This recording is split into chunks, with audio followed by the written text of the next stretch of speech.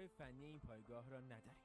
اینجا در ردبندی به کلی سری قرار دارد.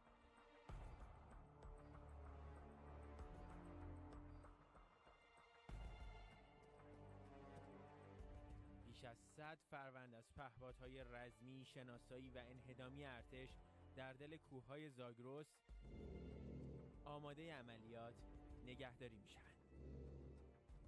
شوند. پهپادهای ایران مثل موشک بالستیک ویرانگرند. این تعبیر بنی گنترز وزیر جنگ رژیم صهیونیستی است. برترین قدرت پهپادی منطقه نیروهای مسلح جمهوری اسلامی ایران هستند. این درش هیچ تردیدی نیست.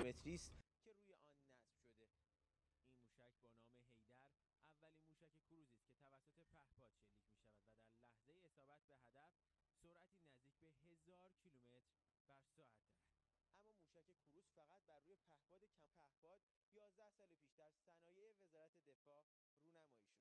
بطرس علاوه بر موشک کروز به بمب‌های لیزری قائم و موشک‌های الماس که سر جنگی شدیدالانفجار دارند هم مجهز